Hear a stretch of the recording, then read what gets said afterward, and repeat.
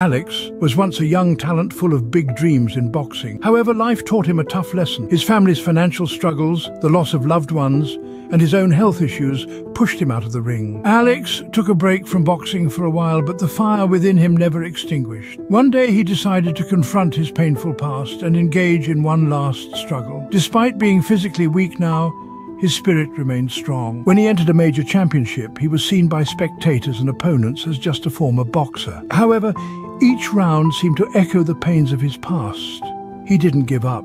As the final round approached, he stood on tired legs.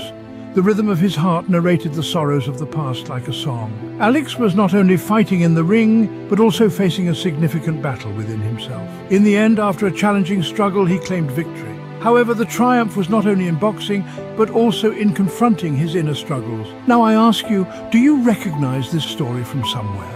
Perhaps it's a reflection of your own life.